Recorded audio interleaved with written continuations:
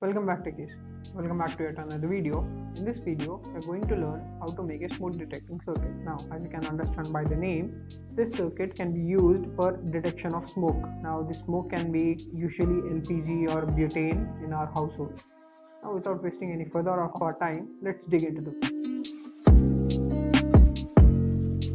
So, for this video, we're going to need a breadboard, a 9 volts battery, our MQ6 smoke sensor, an LED,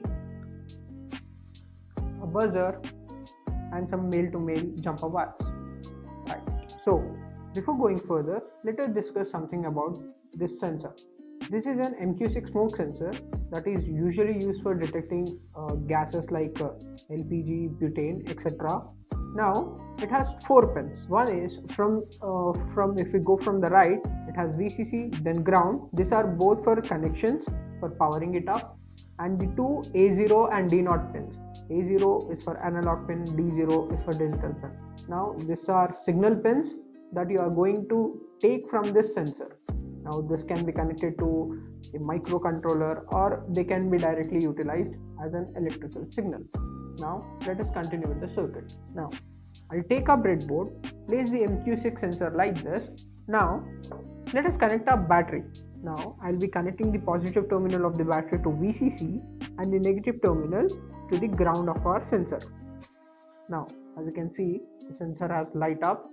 Now this is indicating that sensor has started powered up. Now that we have connected our battery let us give connections to buzzers and led now we'll take our buzzer right and at any empty cell i'm going to connect our positive and negative terminal of our buzzer right then gonna take LED, our led i'll connect the positive terminal to where we have connected our positive terminal of the buzzer and the negative to the negative terminal of the buzzer now, giving connections to these LEDs and our sensor.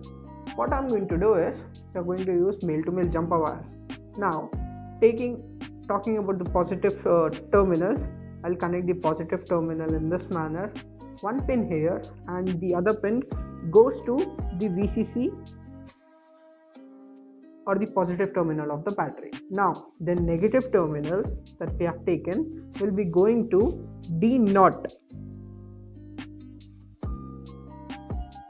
of our sensor.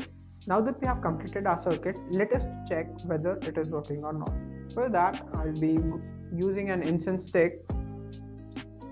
Now, as you see, whenever I put the incense stick near the sensor, it is beeping. That is, the buzzer is beeping and the LED is glowing. Now, after some time, the circuit will stop. I mean, the signal from the D0 pin will be stopping, and our LED will stop glowing, and the buzzer will stop the making sound.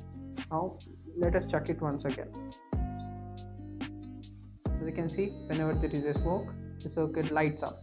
Now let it cool and as you can see it has turned off. Now thank you for watching this video. I hope you learned something new. Please like share and subscribe